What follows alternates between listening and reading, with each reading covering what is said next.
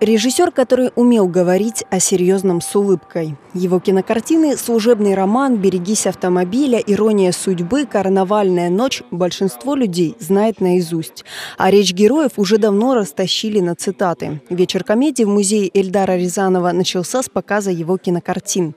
Сотни самарцев, среди них и известный историк моды Александр Васильев, пришли посмотреть фильмы, которые навсегда прописались в культурном коде россиян. Я нахожу, что его фильмы – это самые трогательные из всех советских кинокомедий. Это самый добрый и самый приятный, обволакивающий юмор. И я очень рад, что на его родине создан такой музей, который позволит следующему поколению узнать больше об этом прекрасном человеке. После показа обсуждали эволюцию комедии по ранним фильмам Рязанова. Также на лекции кинокритика-киноведа, члена Союза кинематографистов России Валерия Бондаренко поговорили о современном месте комедии в искусстве. Взаимообратимости смешного и страшного.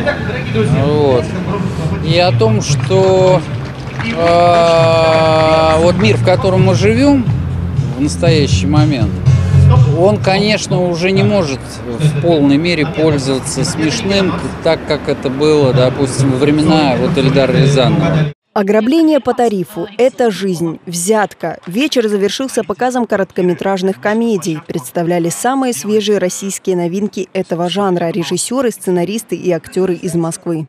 Их шесть, они все разные, каждый по-своему смешная, они лауреаты различных фестивалей и представляют такой современный срез российских молодых авторов.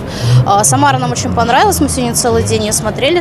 Я приехал из Москвы, я в полном восторге от Самары. У сегодня такой праздничный город э, и праздник цветов, и поющие тенора и баритоны с э, балкона.